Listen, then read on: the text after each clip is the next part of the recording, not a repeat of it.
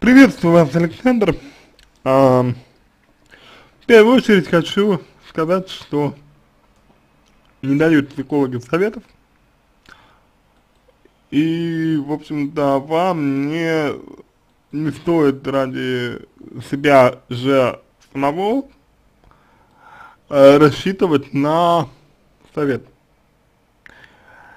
А я бы вам больше, конечно, рекомендовал бы рассчитывать не на совет, а на непосредственно вот э, какую-то помощь в разборе э, себя, э, помощь в исследовании себя. Вот я бы, наверное, больше все-таки на это эм, сделал акцент, нежели чем на совет. Смотрите, э, вы описываете ситуацию, при которой э, вы живете, получается, достаточно такой э, наполненной, насыщенной жизнью, вот, вы описываете ситуацию, при которой вы живете достаточно активной жизнью, вот, э, вы описываете такую ситуацию, при которой вам, э, судя по описанию, приходится, приходилось, точнее, очень много э, напрягаться, очень много действовать, очевидно, через силу, вот, очень много приходилось делать то, что надо, а не то, что вы хотели, ну и в итоге, в итоге, очевидно, это вылилось только вот в то, что, в то, что вылилось, а именно в проблемы это вылилось. Вылилось это ваша проблема, вылилось это вот в то, что вы сейчас а, чувствуете по факту, по факту. Вот. Грубо говоря, вы находитесь в очень э, сильном отрыве от э, своих чувств. Вы не привыкли слышать свои чувства, вы привыкли, на мой, на мой взгляд, вы привыкли двигаться в сторону каких-то целей, каких-то достижений, каких-то вот э, объектов, но ни в коем случае не э, какой-то некой глобальной цели. Вот, ну и, соответственно, надоело вам э, все это именно по причине отсутствия этой самой глобальной цели. По причине отсутствия э, смысла эмоционально окрашенного для вас. Я вижу в этом проблематику. А, основную проблематику. Основную проблематику я вижу в этом. Поэтому, поэтому и рассмотреть я вам ситуацию предлагаю начать с этого.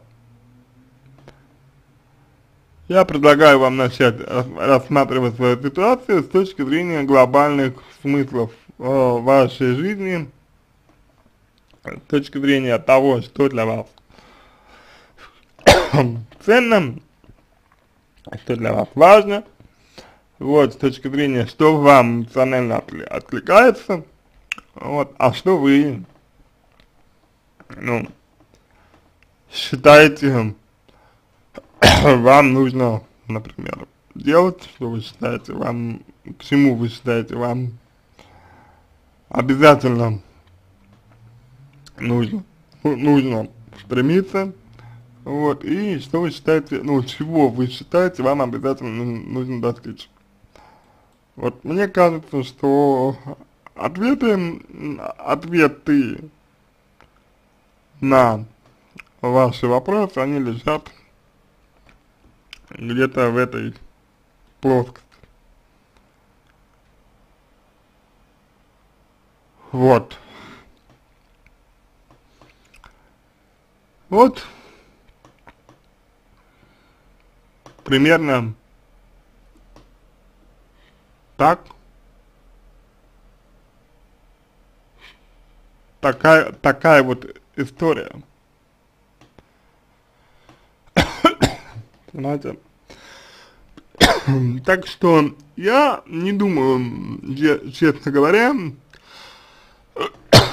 что э, в этом есть как, какое-то вот такое решение, решение адекватное, решение одно, знаете. Я думаю, что решение кроется в вас самом, ваших чувствах, вашей системе ценностей, которые, о которых вы забыли, которые у вас никогда не было, и которые, соответственно, нужно простра простраивать.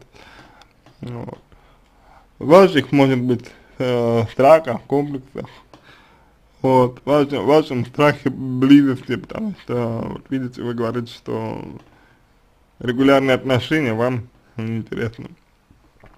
Вот, я не говорю, что они обязательно должны быть, но с, с постоянным партнером быть не то же самое, чем с минолетним партнером. Вот. И то, что вам это не интересно, связано, связано, скорее всего, с тем, что вы в этом видите некое, некое, некое ограничение для себя. Вы видите в этом некую угрозу, какой-то негатив в себе, иначе бы попробовали. другой стороны, не возникло у вас желание ни с одной, например, девочкой быть вместе на долгосрочной основе. У этого тоже есть, Александр, причины. Вот с этими причинами и нужно работать, на мой, на мой взгляд.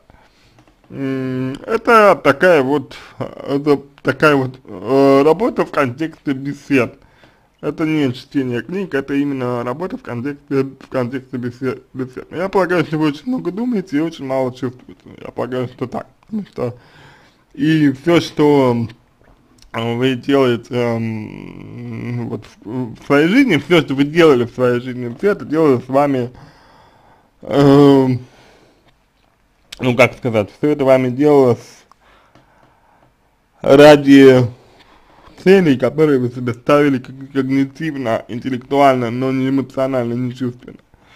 И отсюда всего возникают проблемы с тем, что вам сейчас все надоело, тем, что вам ничего не хочется, с тем, что вы боитесь близких отношений, ну или не боитесь, а недолюбливаете их. С другой стороны, с другой стороны, э, то, что вы ничего не хотите, может свидетельствовать и об апатии. Апатия это и есть подавление ваших собственных желаний, то есть что-то подавляет ваше э, чувство, ваше желание. Что нужно выяснять, от подавления вас освобождать, и тогда вы, э, по-видимому, сможете изменить что-то в своей жизни. Другой вопрос, что есть достаточно большая, к сожалению, вероятность того, что как бы, как бы сказать, есть большая вероятность того, что э, какие-то люди в вашей жизни уйдут, уйдут. Их не будет. И вы, вероятно, к этому не готовы. Ответьте себе на вопрос. Э, хотите ли вы перемен? Ответьте себе на вопрос готовы ли вы к реальным, ну, к реальным переменам? Если готовы, обращайтесь к любому из специалистов. Вот, вам не надо читать книг. А, с вами поработает психолог, мы пообщаемся. И я думаю, что не так будет сложно отыскать, условно, условно говоря, ваши чувства. И, в общем-то, поработав, поработать э, с вашими, с вашими чувствами, вот, и поработав э, с вашими чувствами, да, уже к чему-то, ну, к, к, к чему-то можно, можно, можно будет прийти. Вот. Я думаю, так, в принципе, можно вам ответить. Я надеюсь, что мой ответ вам помог. Если вам понравился он, буду благодарен за его оценку в качестве лучшего. Я вам желаю всего самого доброго, удачи и надеюсь, что ситуация разрешится.